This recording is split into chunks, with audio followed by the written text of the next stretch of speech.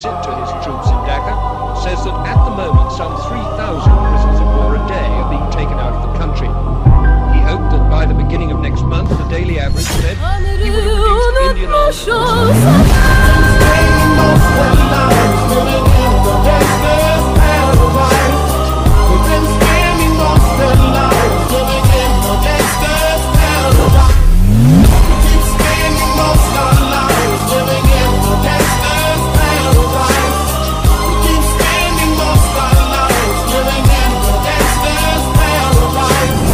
the situation they got me facing.